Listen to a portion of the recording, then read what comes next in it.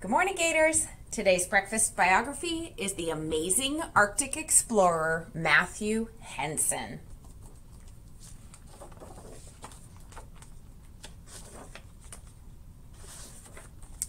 Matthew Henson was born in 1866 on a farm in Maryland. When he was young, both of his parents died. He left his home to find work on a ship. Years later, he became the first African American to reach the North Pole. Here's an image of Matthew Henson as he explored the Arctic with Robert Peary. Matthew was only 12 when he went to sea. He cleaned cabins and helped the cook. The captain taught Matthew how to read and write. He even taught him how to navigate using stars. Then the ship captain died. Matthew went back to Washington, D.C., and he got a job in a store. This is an image of the shipyard that is similar to the one that Matthew Henson sailed out of. One day, Robert Peary came into the store. He was going to Central America to explore. The owner, store owner said Henson would be a good helper. For more than a year, Henson worked with Peary. Henson knew how to build things from wood. He could fix machines. He even helped plan where to put roads. Here's an image of Matthew Henson in the back, and he worked with Peary in Central America. Peary wanted to be the first man to get to the North Pole. He knew Henson was strong and smart. He asked him to join the crew of his ship. He knew Henson could do things that would be helpful on the journey. He asked Henson to join his crew. They boarded the ship and set sail for the cold Arctic. Here's a picture of Robert Peary on the deck of a ship. He was trying to reach the North Pole. The ship landed near an Inuit village. When the people saw Henson's dark skin, they thought he was Inuit too. Henson learned to speak their language. He became a good dog sled driver. He helped Peary make maps.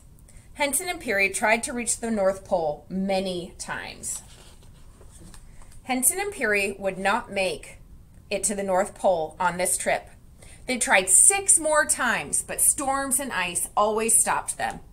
Finally, on April 6, 1909, Henson and Peary got to the North Pole. It had taken them 18 years to get there. Here's an image of Matthew Henson with a dog sled. Robert Peary became a famous man. Because Henson was African American, nobody talked about what he had done. It took many years before he was given any awards. Peary took a picture of Henson and four Inuit who reached the North Pole with him. Matthew Henson was 89 years old when he died on March 9, 1955. Today, he is remembered as one of the world's greatest explorers. He never gave up on his goal of reaching the North Pole. In 1942, Matthew Henson received a gold medal from the Geographic Society in Chicago. It was many years before Matthew Henson became famous. The U.S. Navy gave him a medal. A TV movie called Glory and Honor was made about him, and a postage stamp honored him. What do you think would be the best way to honor him? Matthew Henson wrote a book about going to the North Pole. In it, he said, The lure of the Arctic is tugging at my heart. The word lure means something that pulls you toward it. What's your favorite? What place is your favorite place? Why do you like to go there? Here's a timeline. In 1866, Henson was born in southern Maryland. He died in New York City in 1955. There are, are a set of words to know like Arctic, Central America, Explorer, Inuit, and Navigate.